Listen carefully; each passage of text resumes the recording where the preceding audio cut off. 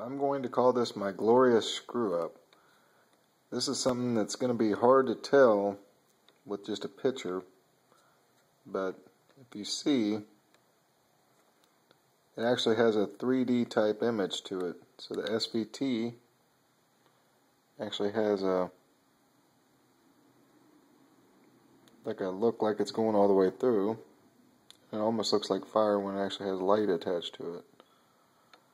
And then the Raptor, which actually even came out even better than that, if you can see it, it looks like a just a chunk of ice in there.